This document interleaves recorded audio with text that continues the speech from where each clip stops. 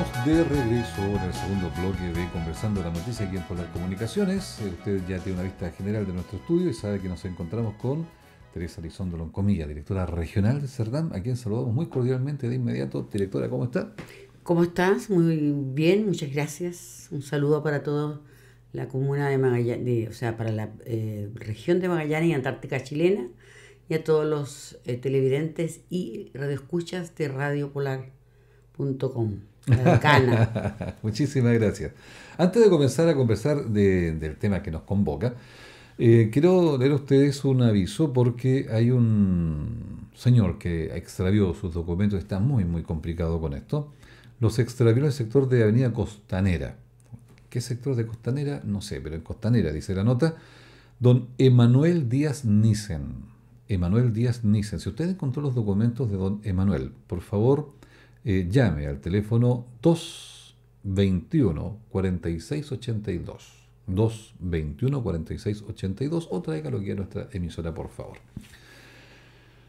Directora, ¿qué quiere que le diga? Tristemente, tristemente, o sea, nosotros hemos conversado muchas veces, eh, y usted con todos los medios de comunicación de la región, ¿cierto? Y con charlas y qué sé yo, para evitar todo esto que lamentablemente hemos visto y hemos sido testigos este último tiempo.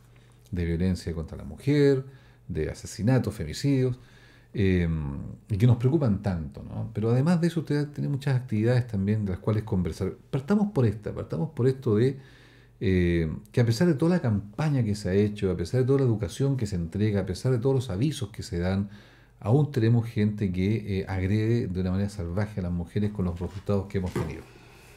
Eh, en realidad de que estos son hechos de violencia que debemos repudiar todas y todos. La violencia forma parte, digamos, de todos los estratos de la sociedad, es transversal, pero no nos podemos quedar conforme con esa definición. Yo repudio eh, enérgicamente estos casos que han sucedido, porque nada ni nadie merece vivir con violencia. Tampoco las mujeres. Las mujeres tenemos derecho a vivir un espacio sin violencia. Eh, Alex, como tú bien señalas y como profesor, al igual que yo, sabes que todas estas situaciones son culturales, son aprendizajes que se desarrollan ya sea a través de la, de la, visión, de la audición, de la kinestesia y el entorno. Una persona, un joven que vive en un medio donde ha sido castigado, aprende a ser castigador. Nosotros somos el fruto del entorno y tenemos que a través de la educación, eh, así como eh, eh, ha ingresado a nuestra cognición a través del proceso de aprendizaje, también tenemos que desarraigar el, con programas sistemáticos y educacionales.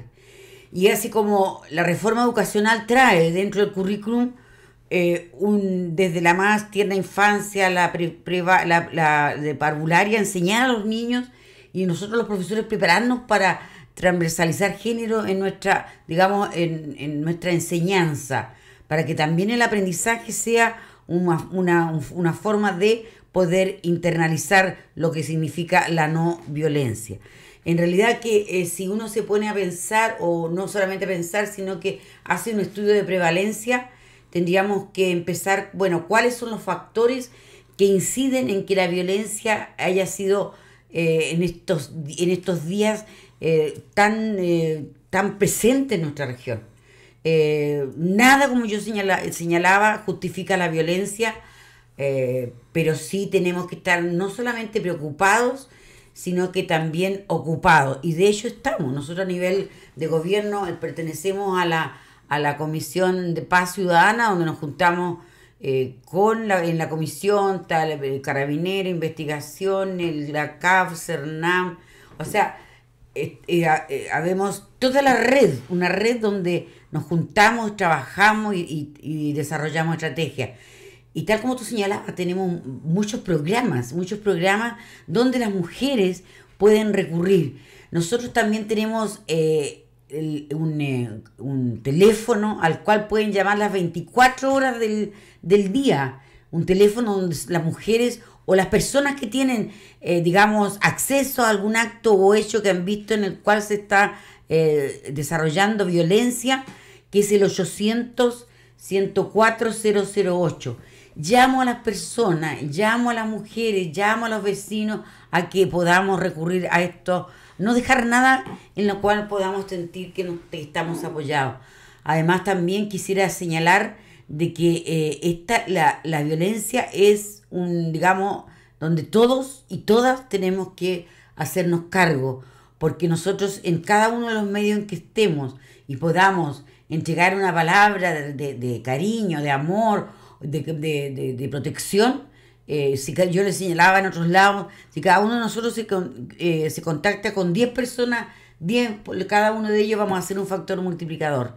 Nada o todo es poco. Sabe, directora, hay cosas que a mí particularmente me están llamando muchísimo la atención últimamente y estoy seguro que la gente que nos está escuchando o siguiendo, ¿cierto? De alguna forma, probablemente coincida con lo que yo voy a decir. Eh, aquí voy a echar de mano mi carnet de identidad. Cuando yo era niño, ¿cierto? Las niñas se comportaban como señoritas. Era muy raro escuchar que una niña de la misma edad de uno dijera un garabato o eh, tuviera algún acto de violencia contra un varón. Por lo tanto, era, destacable y se notaba de inmediato cuando un varón actúa de esa forma con alguna niña. Hoy día uno lo ve en la micro, lo ve en la calle.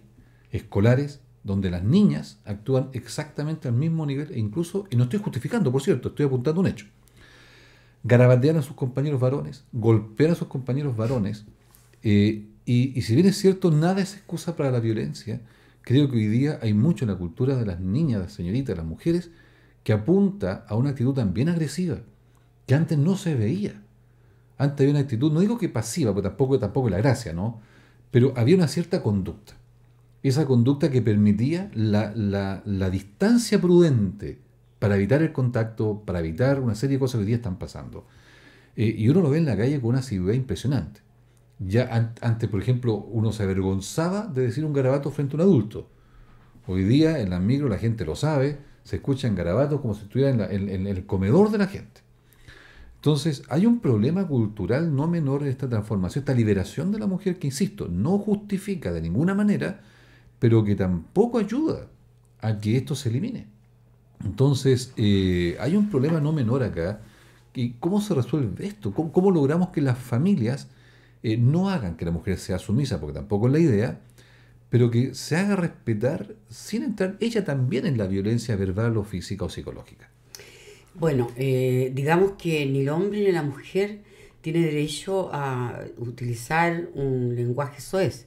Así que eh, lo que tú señalas, claro, las mujeres ahora no estamos atreviendo más, aunque no, no tendría por qué ser a través de la violencia. Tendría que ser, ¿no es cierto?, eh, nuestro, se supone que nuestro trato debería ser un trato de paz, de cariño y de amor. Ahora, ¿qué hacer?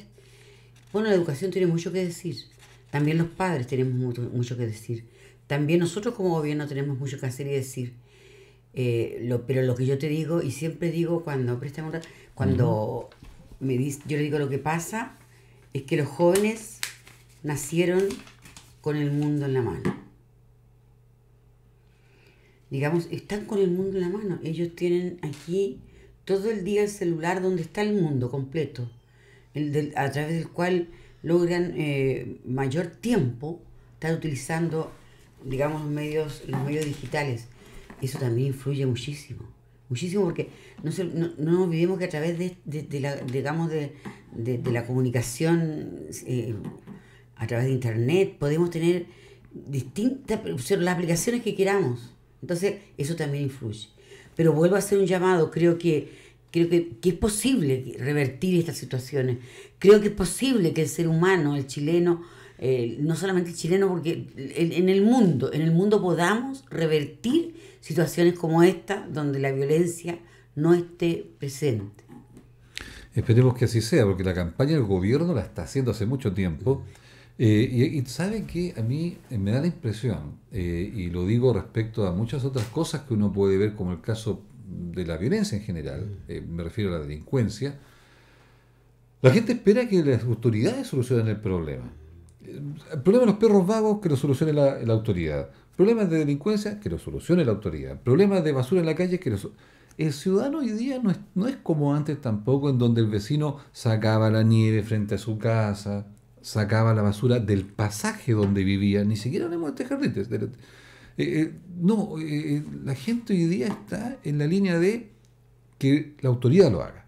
Y ese desapego por lo propio, en esa desatención a la vida cotidiana con los vecinos, con los amigos, etcétera, esa apatía que está surgiendo en la sociedad es también parte o cómplice de lo que está ocurriendo en las relaciones humanas, donde se despersonaliza todo. Y si hay un problema, ¿cierto? Si uno escucha, no sé, voy, voy a exagerar, que el vecino está agarrando a balazo a la vecina, bueno, alguien llamará, pero no voy a ser yo. Mm. Alguien se preocupará, pero no voy a ser yo. Entonces, hay un problema grande en esto también, en el que creo que hay una complicidad social impresionantemente alta. Eh, por eso que, que yo, yo creo que también los medios de comunicación como ustedes tienen mucho que aportar. De, por, eh, por, cierto que yo agradezco a todos los medios de comunicación de la región porque hemos tenido apoyo de, de todos los medios de comunicación y un apoyo, digamos, solidario, un apoyo atento, una, un apoyo, digamos, no, no, no selectivo ni tampoco eh, de, de, de, modo que, que sea eh, buscar dónde está lo malo para poder señalar que no estamos haciendo las cosas, sino que ha sido, un, digamos, una, uno siente el apoyo que ellos tienen. Yo quiero también señalar a las mujeres y a todas las personas que nosotros tenemos en nuestro, en nuestro programa. Tenemos un programa de, de BCM, de violencia contra la mujer, y dentro de ese programa eh, tenemos en, en las casas de acogida, los centros de la mujer y el centro de hombre donde también a través de la OIRS es, eh, todos los días tenemos personas que acogemos para poder eh, enviarlas después a nuestro centro para que sean tratadas psicológicamente, sí, eh, digamos, le hacemos una atención psicosocial. Integral. integral, exactamente. Por ejemplo, ya cuando las mujeres van a la casa de acogida es porque corren un eminente peligro. Y allí son acogidas, son protegidas y además... Contenidas eh, contenidas en, exactamente y nosotros no la volvemos a, a revictimizar, sino que la apoyamos y la ayudamos a qué? A que pueda poder reestructurar su nuevo plan de vida. También le entregamos herramientas para que ellas puedan eh, integrarse con su familia. Estas casas de acogida tienen acceso a ella las mujeres, como les señalaba, y también los hijos. Los hijos eh, que pueden estar con ella. Y ahora, por ejemplo, en Punta Arenas tenemos una más el Centro de la Mujer, el Centro de Hombres, en Puerto Natales también tenemos un Centro de la Mujer y también un, una casa de acogida que vino a inaugurar nuestra subdirectora, señora eh, eh Pascual, no, no, esa, es la ministra, la Gloria Mayra Vargas, el 24 de octubre. Quiero también señalar de que nosotros tenemos una línea de prevención porque lo importante también es prevenir, llegar antes. Tenemos una línea de prevención que este año comenzamos a trabajar. Estamos trabajando con monitoras, estamos trabajando con alumnos de la universidad, estamos yendo a los colegios. Digamos que tenemos estrategias distintas. No, está claro, está claro, sí, sí, está claro que la autoridad está haciendo un esfuerzo impresionante y, es patente, pero bueno, esperemos que la sociedad en definitiva también haga su rol. Eso es lo que está, mm. es lo que está faltando. Eso es lo que está faltando, que la, que la sociedad asuma su parte de la tarea. Doctora, vamos a, vamos a una parte positiva. Ya. Vamos a algo positivo. Eh, capacitación de liderazgo. Mesa de conversación de la, de la minería o la de minera. Mm. ¿Cómo va eso? Bueno, eh, el liderazgo ya termina. Eh, la escuela de liderazgo son 12 escuelas, una que tuvimos el mes pasado aquí en Punta Arenas, donde fueron 38, 35 mujeres pero fue transversal la asistencia política de los centros, de las etnias, de, de, las juntas de vecinos. Eh, fue una actividad eh, muy potente. También eh, yo estuve presente en la actividad ya en, en, Porvenir, donde llegaron 18 mujeres. También fue una gran actividad y digamos que la, las mujeres se sintieron realmente muy empáticas y sintieron que han, que, han aprendido mucho y crecieron. Las mujeres de acá de Punta Arenas eh, quedaron tan, eh, digamos, eh, tan ensimismadas y tan empoderadas, perdón, este, empoderadas, que quieren juntarse y hacer una, digamos que una asociación con personalidad jurídica y llegar de 50 mujeres para justamente, de distintos partidos políticos, desde la derecha al centro. Es un la tema de izquierda. género. Exactamente, no es, un- no es una situación política, sino que una situación de género. Yo me alegro que estas instancias sean una, sean una instancia de aprendizaje, y no solamente de aprendizaje teórico, sino que también de, de aprendizaje de desarrollo humano y desarrollo personal. Si las mujeres queremos participar en política, yo señalaba que tenemos que agregarle, ¿no es cierto?, contenido a nuestro discurso.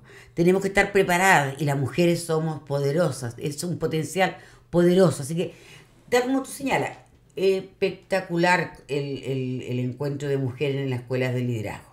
Y la mesa de minería, bueno, aprovecho a saludar a mi amigo y colega eh, Manuel Aravena, también a sus hermosos padres. Eh, hicimos un, un muy buen encuentro acá en la en, en el salón Nelda Panincucci eh, con la representación de las distintas minerías de acá, eh, Mina Invierno, ENAP, em- empresas de la turba, el- el- el- la del carbón, o sea, donde pudimos firmar, ¿no es cierto?, eh, el convenio que ya teníamos listo, pero sí de dar a conocer lo que es nuestro trabajo.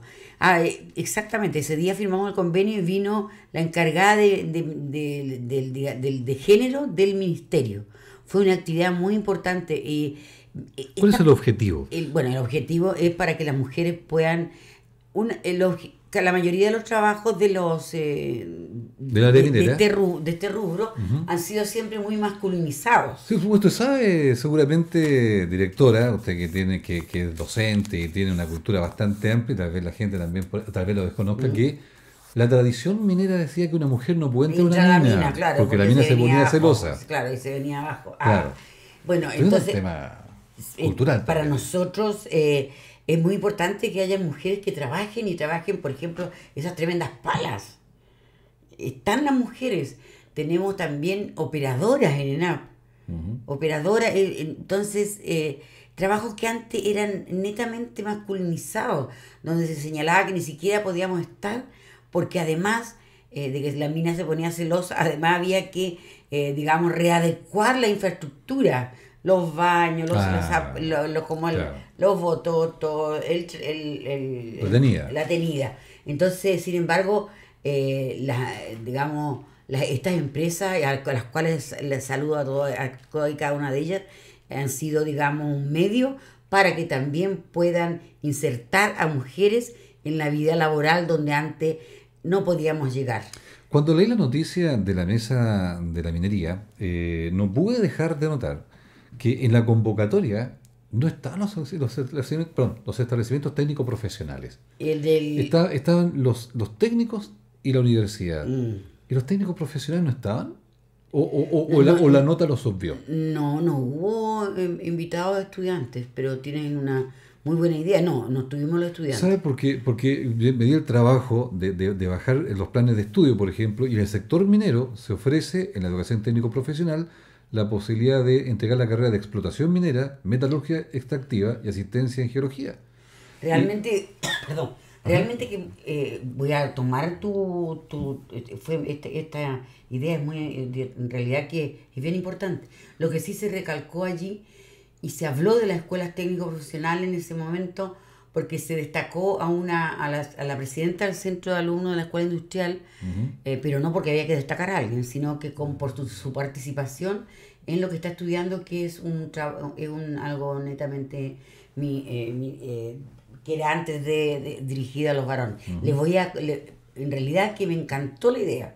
No, no estaban invitados ni, ni estudiantes de la universidad ni de la media. Claro, porque por ejemplo, en el caso No, de los técnicos excelente. profesionales eh, está la, la administración, electricidad, mecánica, que efectivamente pueden prestar servicio en el área minera, eh, si acaso las mineras logran también eh, coordinarse, ¿cierto?, con, con- con los jefes de UTP, los jefes de carrera, en fin, y si es necesario, algún establecimiento podría, incluso por medio del dual, abrir estas carreras para entregar oportunidades de excelente, Entonces- excelente, excelente. Sí, voy a tomar la, la, la idea que tú me has señalado. para que nos Te lo inviten, agradezco. Por que supuesto que sí. a, lo- la gente Por técnico sí. profesional.